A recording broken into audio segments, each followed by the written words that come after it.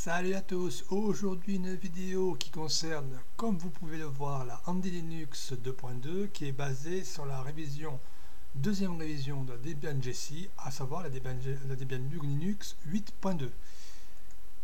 Comme vous avez pu le voir, comme c'est précisé dans l'article qui est dans le descriptif, il y a maintenant des versions 32 et 64 bits de la distribution.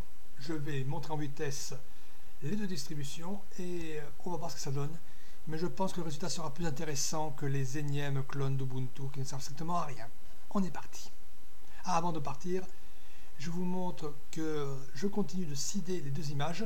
Oui, pour l'image pour de Linux, c'est la folie furieuse. Bon, ça fait aussi 7 jours que 6 jours qu'elle est en seed, mais enfin qu'elle est en, source. Mais c'est quand même la folie furieuse. 43 exemplaires. en l'espace de 6 jours, c'est quand même la folie furieuse. Bon, pour Andy, je vais laisser euh, en gros pendant une semaine en en source et après je couperai le robinet. On est parti pour la vidéo. On passe en plein écran. Donc, c'est la version 32 euh, bits.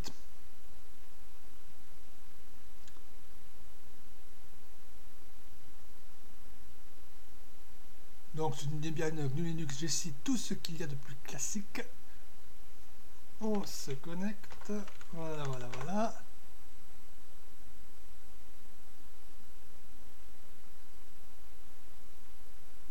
Bon, c'est vrai là que j'ai bien chouchouté les machines virtuelles en question. Elles ont 2 Go de mémoire vive, 2 CPU virtuels et 128 Go de disque. Autant dire qu'elle a la place. Donc là, nous avons l'environnement de l'Andy avec un petit fichier à la fois en anglais et en français.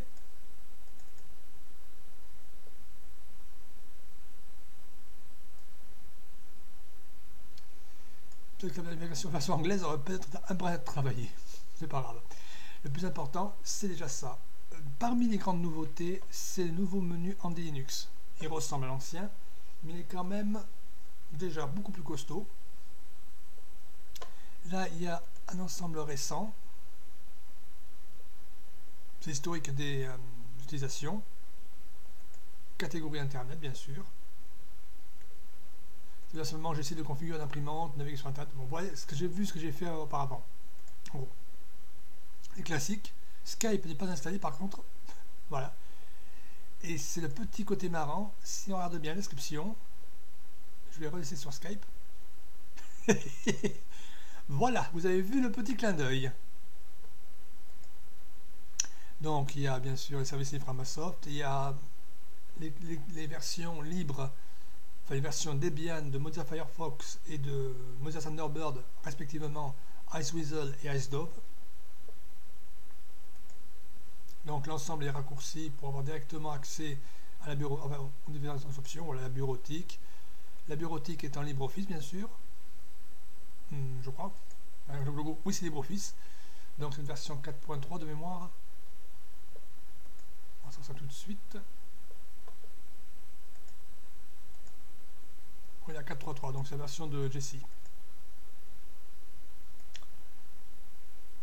Euh, qu'est-ce qu'il y a d'autre? Bon, le multimédia, il y a VLC, il y a hum, XFBurn, il y a Ristretto, il y a Clémentine. Je reviendrai après dessus. Les jeux, bon, mais il y a tout classique. Hein.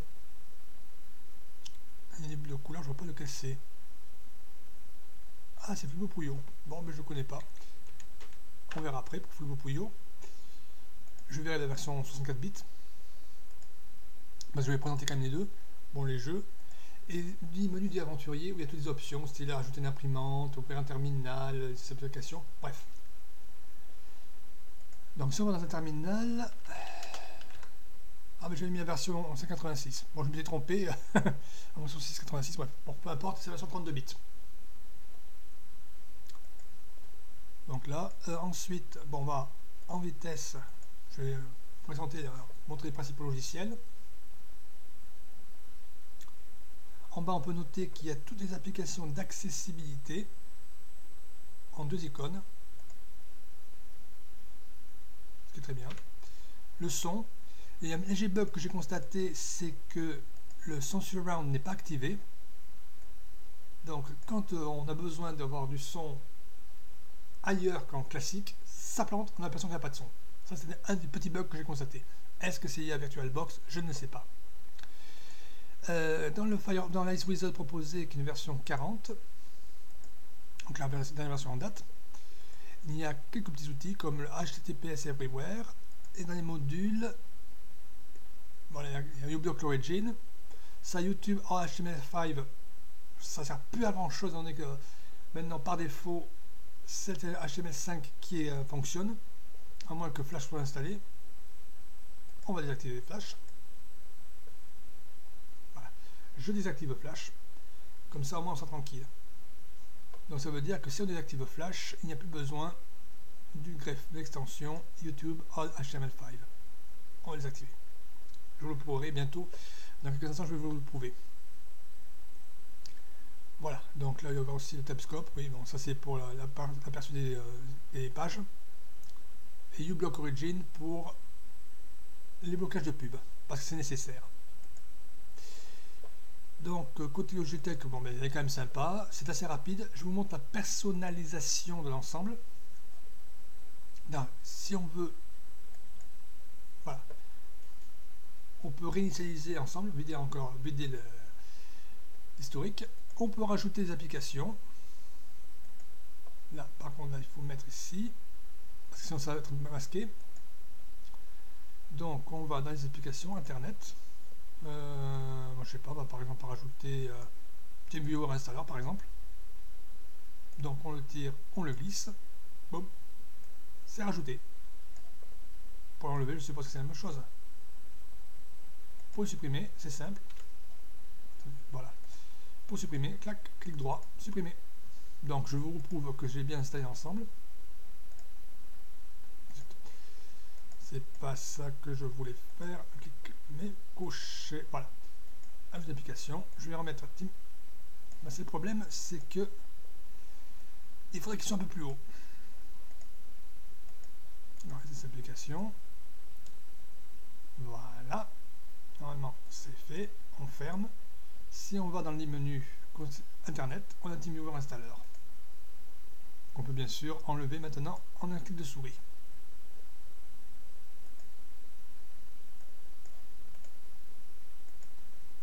Par exemple, je vais créer on peut rajouter aussi des sections, les supprimer, si on a envie.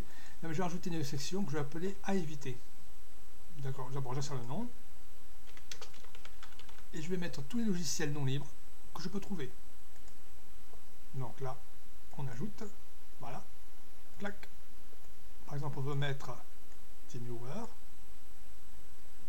On peut ajouter. Voilà. C'est un peu mieux parce qu'il est obligé de. C'est ça le hic, c'est ça. C'est ça gros bug que j'ai vu par rapport au One Menu. C'est ça. Donc on va mettre Skype. Voilà.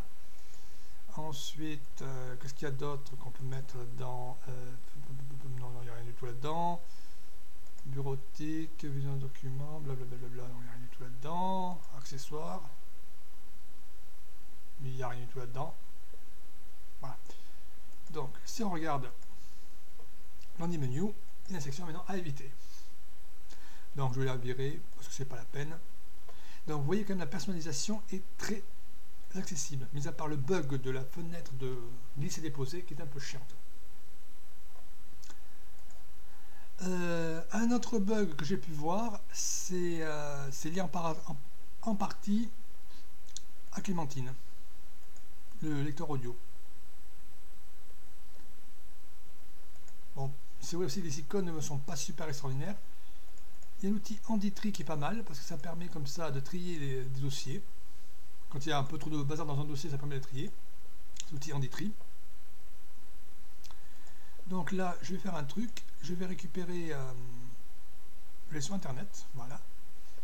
On va déjà tester l'audio et la vidéo sans passer par Flash. Parce que j'ai désactivé Flash. Je vous le remontre.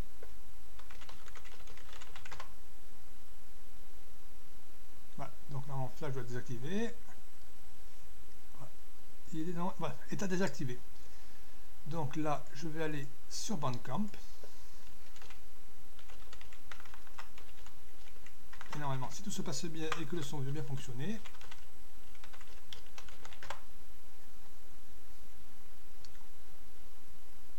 j'aurai du son.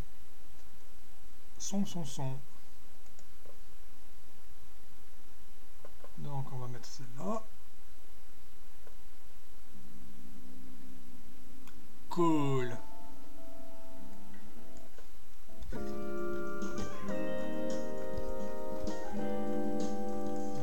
Je vous rappelle que Flash est désactivé. Une nouvelle fois, je vous le prouve. Que Flash est bien désactivé. Voilà, désactivé. Donc là, on va aller sur YouTube.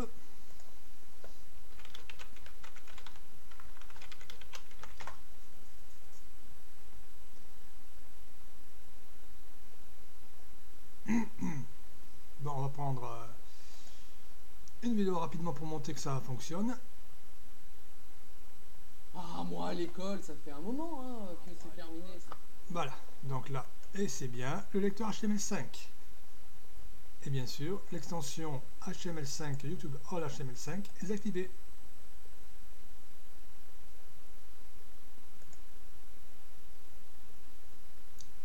YouTube All HTML5, voilà. Donc, euh, si on désactive Flash, il n'y a pas besoin de YouTube All HTML5, mais ça dépend des personnes. Bref, voilà. C'était les principaux trucs que je voulais montrer. Ah, encore un truc que je voulais montrer, c'est... Bon, je vais aller sur Alter Music. Parce que je vais remarquer, en faisant des tests avant de faire l'enregistrement des vidéos, c'est que le MP3 est supporté. Donc, on va prendre euh, l'album, un album assez court, pour éviter de perdre trop de temps. On va prendre celui-là. D'accord. La Clémose m'ennuie. On va. On va prendre euh, celle-là. Voilà. Donc là. Bon, c'est une B392, mais c'est juste pour faire l'essai.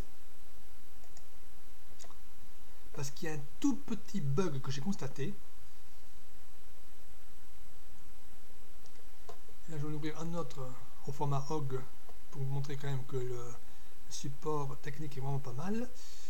On va prendre ce classique de la musique libre.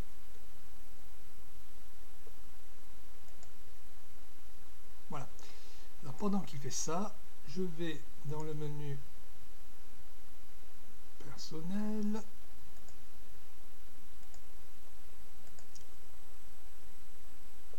Donc dans téléchargement, Déjà je peux extraire celui-là ici.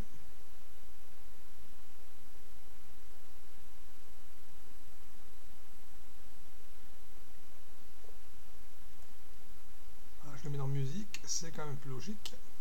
La musique, la musique dans musique. Quelle logique? Voilà, et je mets là-dedans. Donc si on lance Clémentine, là je vais pouvoir fermer Si on lance Clémentine, en clair dans le multimédia,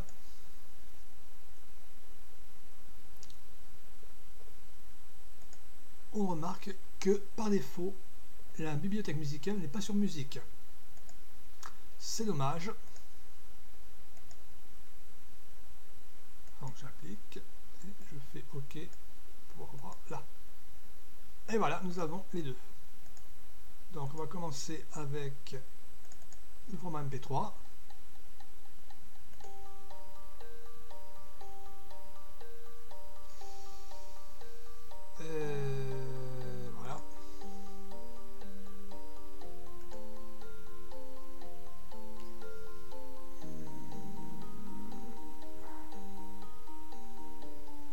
C'est le format MP3. Donc je vais le poser. Voilà. Et maintenant le format OG.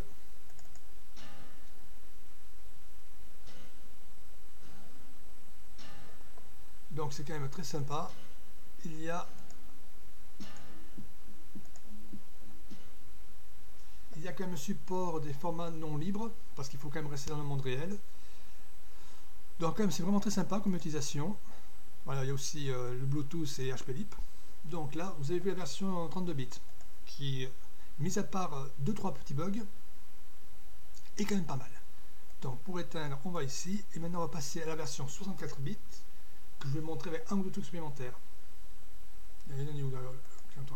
Oh, encore cédé pas mal. Allez, on est parti pour la version 64 bits.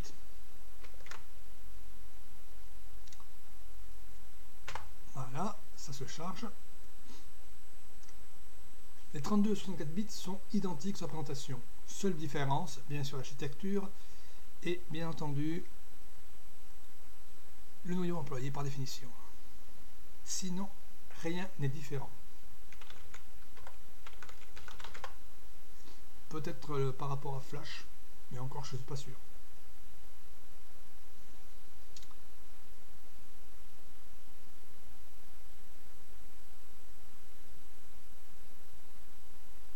Nous sommes bientôt arrivés à la fin de la vidéo. La torture est bientôt finie. Donc là, je passe par le menu aventurier et je prouve que c'est bien version 104. Voilà, était besoin de préciser. Donc le dernier truc que je voulais vous montrer, sur cette même euh, bibliothèque, donc là, bien sûr c'est navigateur internet. IceDove, version 64 bits, euh, IceDove, IceWeasel, pardon.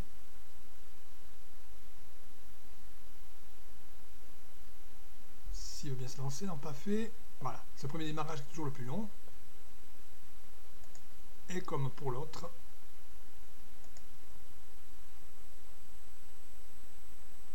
voilà, donc il y a les mêmes trucs, donc ça on peut les activer, parce qu'on les active ça.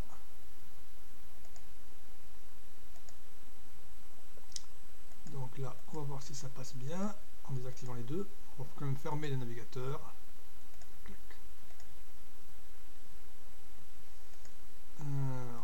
Alors, on va changer pour une fois, je vais prendre un groupe non libre, mais ça va être 10 secondes ça va passer. Donc ça sera très rapide et je ne risquerai pas de problème de droit d'auteur.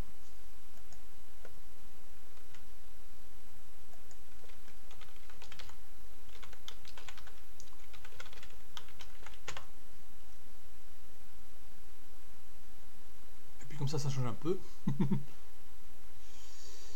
euh, on va voir si ça passe le son. Ah mais c'est vrai, il faut que je mette le son surround. Un audio mixeur.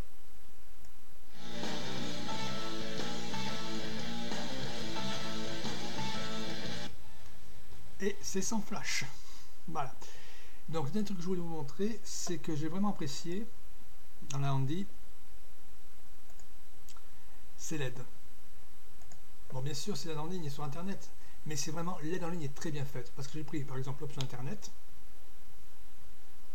Ça va directement sur le wiki de la Handy Linux, mais c'est quand même bien fait. Que ce soit, bon, bien j'ai pris Internet, mais je pourrais prendre aussi bureautique par exemple. Toute l'aide est en ligne. C'est parfois un problème si on a la connexion qui merde, mais c'est quand même bien pratique. Donc pour terminer, que dire de plus C'est que la distribution est vraiment a vraiment bien évolué. Le nouveau Handy Menu est pas mal, mis à part cette saleté de bug qui est un peu ennuyeux avec la zone de cible pour le glisser-déposer. Sinon, c'est du pur sucre. Si vous voulez initier une personne, ou si vous avez une personne de certain âge qui n'a pas envie de se prendre la tête et vous n'avez pas envie de foutre le dernier logiciel Microsoftien en date, l'Andy Linux pourra sûrement être votre allié. Allez, ciao à plus